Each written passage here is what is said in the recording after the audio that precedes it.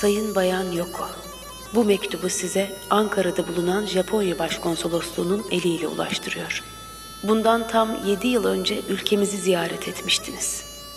Karadeniz'in yemyeşil yaylalarında, başı dumanlı dağlarında dolaşırken bir çocuk çıktı karşınıza.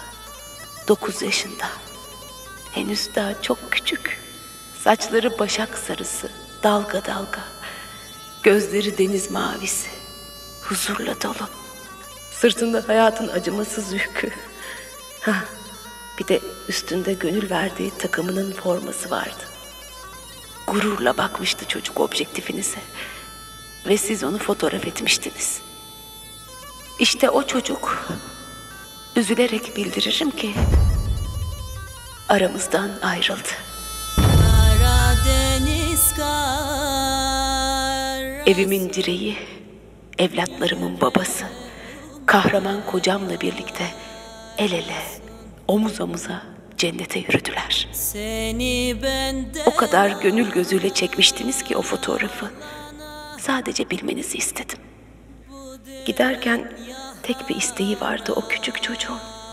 İyilikle anılmak. Aşağıya Türkçe yazacağım cümleyi olduğu gibi okursanız siz de onu iyilikle anmış olursunuz. Ender'in saygılarımla. Şehit jandarma Assubay Kıdemli Başçavuş Ferhat Gedik'in eşi Cemile Gedik. İyi ki bazı